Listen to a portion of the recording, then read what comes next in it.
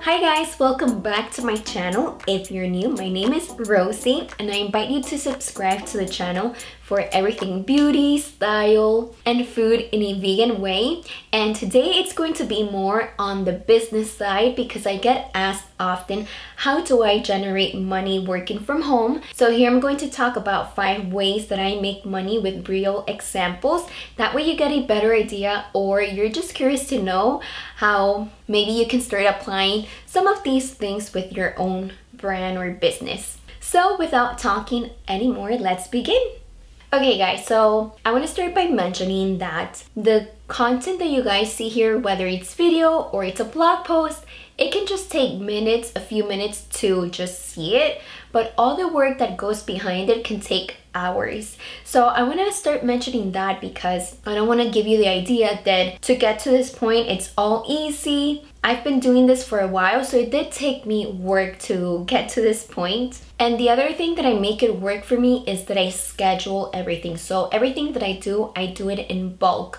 So let's say one day, for example, today is just my filming day. So I film two videos but for me it equals four videos because it's English and Spanish. And then let's say tomorrow I'll just do editing. The following day will just be writing blog posts. And just like that like each day I focus on one task.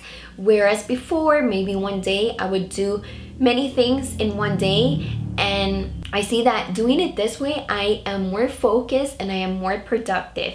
So that's why I do it this way. And the other thing about implementing the things I'm going to mention here is that you have to think outside of the box. So what you can apply in one platform, you can apply it in maybe two or the other ones that you have.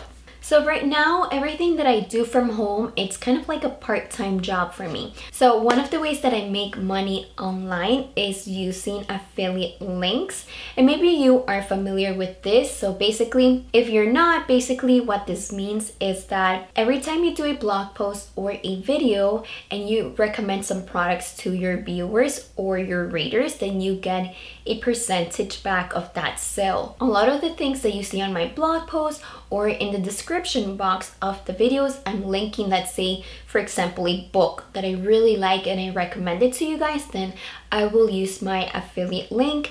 And that way, the person who's buying it, they don't even have to pay extra for that. You're just making a commission, a percentage of that sale. So you're kind of like the salesperson. And this is a great way because a lot of shoppers already buy from Amazon. So they really trust Amazon.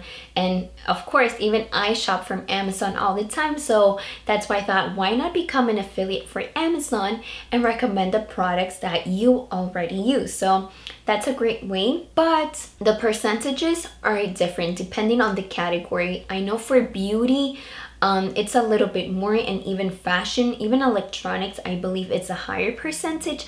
I don't know it by memory. If you look it up on Google, they have a guide and that way you know exactly what each category pays. And a few other examples that you can use apart from Amazon. Another one that I use is ShareASale. I'm also a member of Rakuten and Awin. I hope I'm saying that right. So to give you an example, all the links, well most, most of the links on my resources page where I talk about books that I recommend, the camera equipment that I use, a lot of those links are directed towards Amazon and those are my affiliate links. Okay, another way that I make money is using Ebates. So this kind of works similar to Amazon, but it's a little bit different. So yes, one, you can make commission if you recommend it to them and that person makes a purchase, but you also make commission when you buy something. So you're making double commission with Ebates, whereas with Amazon, you only make a commission if somebody buys something. So this is what I like about Ebates is that you can double make commission and depending on the store where you shop from. So every store has a different percentage that you can get back as cash back. And you can even install the plugin to your browser depending if you have Firefox, Google Chrome, etc. And I already made a detailed video on this in case you guys want to check it out and see how I use it, then I'm going to link that up for you. And by the way, from what I've heard and what I've read is that Ebates is no longer going to be called Ebates but Rakuten. So they're going to be changing their name and all their logos. That's what I've heard. Just to give you an idea on how much I've made, this is a screenshot from my account and you can see how much I have earned so far. Okay, this is something you need to have if you are more into fashion and sharing outfits and maybe you already have it by now. And it's called Shop Style Collective. So basically when you have an outfit, you can find everything that you're wearing or find similar pieces and recommend it. So this is super similar to Amazon affiliates where basically you are using affiliate links as well. And the links, you just grab it and you can just share that on your blog, YouTube, on your Instagram. Basically, as long as you have the link, you can share that wherever you like. And another similar website is reward style but they are more picky. I didn't get accepted to reward style that's why i'm using shop style. They're more picky they do go through your account or blog or instagram and they want to see like really good quality photos so if you want to apply for a reward style you have to impress them with your photos basically and to give you an idea, whenever I do a blog post with an outfit, then the links that you see there are affiliate links, but with shop style. And so basically what I do, I just add my photos and underneath I will add text and the text converted into links and the other way is that I add a product widget so it's also clickable. Okay, so the fourth way is as you can see here with this video, YouTube. So basically, as long as you feel comfortable being in front of the camera and talking about something, if you have your niche, then you're good to go. But I've also seen some YouTube channels where they never show their face.